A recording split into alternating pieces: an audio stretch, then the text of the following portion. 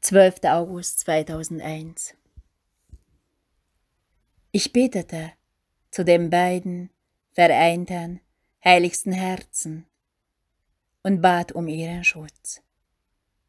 Und ich empfahl mich meiner Lieben, meiner Heimat und die ganze Menschheit in das Kraftfeld ihrer barmherzigen Liebe.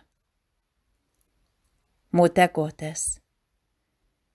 Viele erfuhren bereits die segensreiche Wirkung deines Gebetes. Meine lieben sühnenden Kinder, mit Glauben und Vertrauen vermögt ihr wahrlich Berge zu versetzen.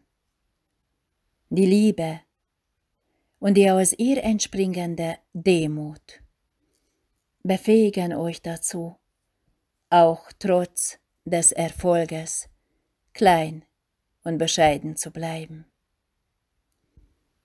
Gott ist es, der auf die Bitte der Demütigen und auf deren Zusammenwirken mit ihm große Dinge vollbringt. Gelobt sei Jesus Christus in Ewigkeit. Amen.